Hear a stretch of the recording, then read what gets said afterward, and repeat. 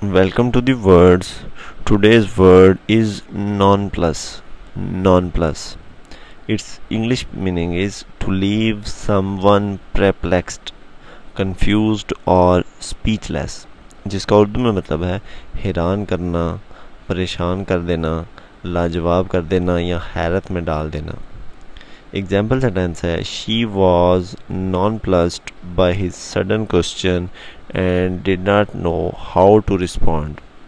वो उसके अचानक सवाल से